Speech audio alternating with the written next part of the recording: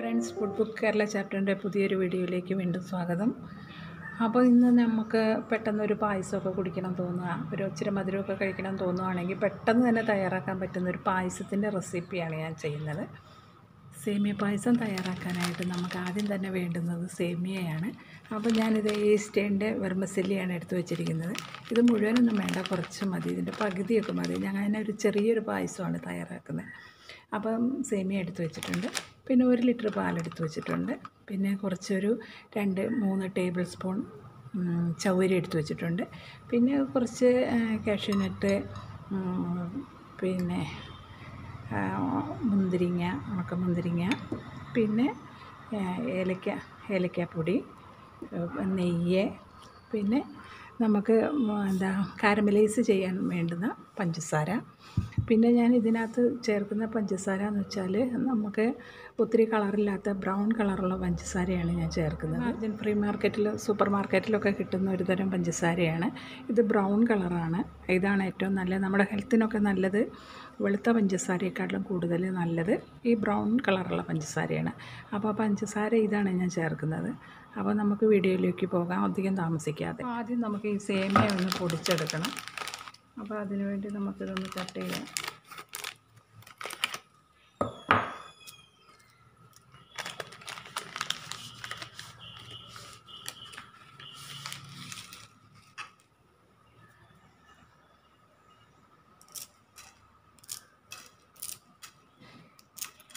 പൊടിച്ച സേമിയയും വാങ്ങാൻ കിട്ടും. ഇതുപോലെ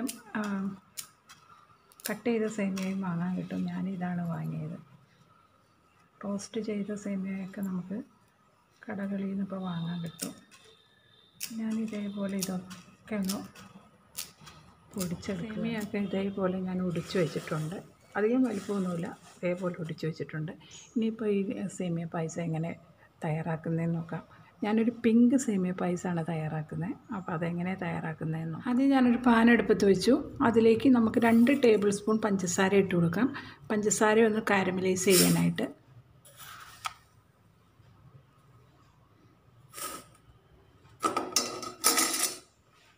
സ്റ്റവ് കത്തിച്ചിട്ടുണ്ട്. ഇനി പഞ്ചസാര ഒന്ന് മെൽറ്റ് മെൽറ്റ് ആവാൻ തുടങ്ങിയിട്ടുണ്ട്.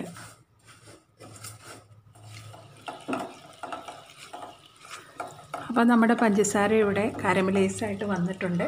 അപ്പോൾ നമുക്ക് തീ നന്നായിട്ട് കുറച്ച് വയ്ക്കാം കുറച്ച് വെച്ചിട്ട് ഇതിലേക്ക് നമുക്ക് ഈ കുറച്ച് പാലൊഴിച്ച് സാര കാരമലൈസായതിന് ശേഷം ഞാൻ അതിലേക്ക് കുറച്ച് പാൽ പാലൊഴിച്ച് കൊടുത്തു. പാലൊഴിച്ച് കൊടുത്തിട്ട് നന്നായിട്ടൊന്ന് ഇളക്കാം. ഇളക്കി കഴിഞ്ഞതിന് ശേഷം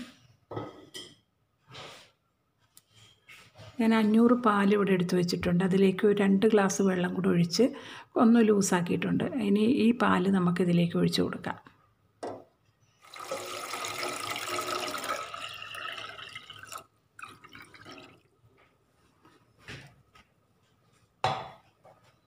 ഇനി ഇതൊന്ന് നന്നായിട്ട് തിളച്ച് വരട്ടെ. നമുക്ക് മറ്റേ സ്റ്റവിലേക്ക് വെച്ചിട്ട് നമുക്ക് ഇതിന്റെ കൂടെ നമുക്ക് സേമിയയൊക്കെ ഒന്ന് വറുത്തെടുക്കണം. അപ്പോൾ അതിനായിട്ട് നമുക്ക് ഇത് അടുത്ത സ്റ്റവിലേക്ക് മാറ്റി വയ്ക്കാം മെൽറ്റ് ആയിക്കൊണ്ടിരിക്കുന്നുണ്ട് ഈ സമയം നമുക്കിതിലേക്ക് എന്താ നമ്മുടെ സേമിയ ഇട്ട് കൊടുക്കുക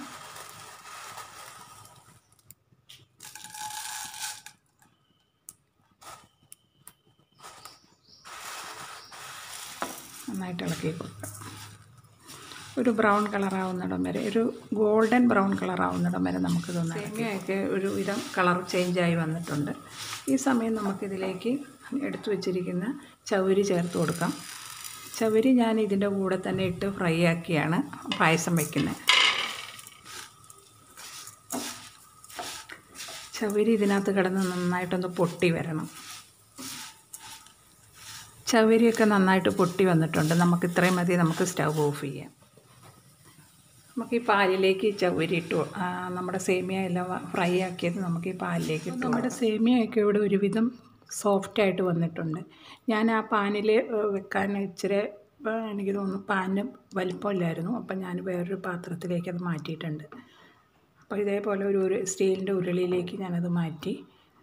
അപ്പോൾ ഇതിലേക്ക് നമുക്ക് ഇപ്പോൾ സേമിയ എല്ലാം സോഫ്റ്റ് ആയിട്ടുണ്ട്. നമുക്കിതിലേക്ക് പഞ്ചസാര ഇട്ട് കൊടുക്കാം. ഞാൻ രണ്ട് മൂന്ന്. ആദ്യം രണ്ട് ടേബിൾ സ്പൂൺ പഞ്ചസാര ഇട്ട് കൊടുക്കുകയാണ്. പിന്നെ നമുക്ക് മധുരം നോക്കിയതിന് ശേഷം ഇട്ട് കൊടുത്താൽ മതി. രണ്ട് ടേബിൾ സ്പൂൺ പഞ്ചസാര ഇട്ടു.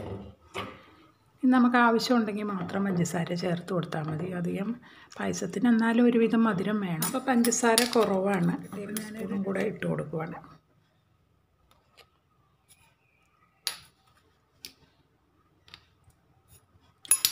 മൊത്തം രണ്ട് ടേബിൾ സ്പൂൺ പഞ്ചസാരയും. ആദ്യം രണ്ട് ടേബിൾ സ്പൂൺ പഞ്ചസാര കാരമലൈസ് ചെയ്തു. പിന്നെ ഇപ്പോൾ നാല് ടേബിൾ സ്പൂൺ മൊത്തം ആറ് ടേബിൾ സ്പൂൺ പഞ്ചസാര ഞാൻ ഇട്ടിട്ടുണ്ട്. ഇപ്പോൾ മധുരം കറക്റ്റായിരിക്കും അപ്പോൾ ഇനി നമുക്കിതിലേക്ക് ബാക്കി എടുത്തു വെച്ചിരിക്കുന്ന പാലും കൂടെ ചേർത്ത് കൊടുക്കാം.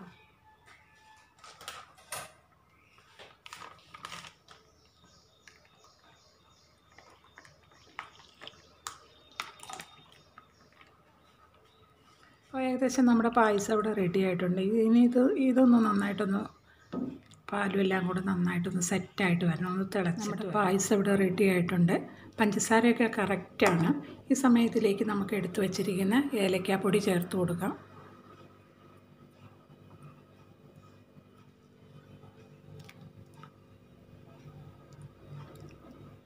നമുക്ക് ക്യാഷ്യൊക്കെ ഒന്ന് വറുത്തെടുക്കാനായിട്ട് ഒരു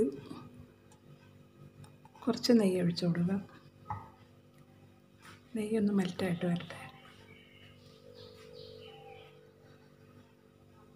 സമയം നമുക്ക് എടുത്തു വച്ചിരിക്കുന്ന ക്യാഷിനിട്ട് ഇട്ട് കൊടുക്കാം. ക്യാഷ്യൂ നല്ലോണം ഫ്രൈ ആയി വന്നിട്ടുണ്ട്. ഈ സമയം നമുക്കിതിലേക്ക് മുന്തിരിങ്ങ ഇട്ട് കൊടുക്കാം.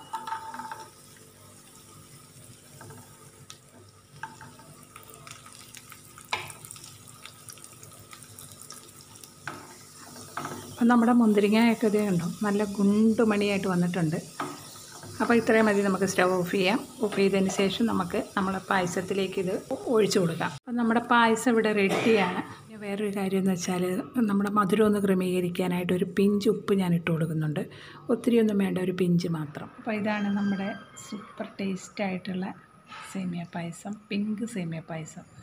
അപ്പോൾ ഇത് നിങ്ങളെല്ലാവരും ചെയ്ത് നോക്കുക. വീഡിയോ കണ്ട് ഇഷ്ടപ്പെട്ടാൽ ലൈക്ക് ചെയ്യാനും കമന്റ് ചെയ്യാനും സബ്സ്ക്രൈബ് ചെയ്യാനൊന്നും മറക്കരുത്. അപ്പം പുതിയൊരു വീഡിയോ അടുത്തൊരു നല്ലൊരു വീഡിയോയുമായിട്ട് ഞാൻ ഉടനെ വരും. താങ്ക്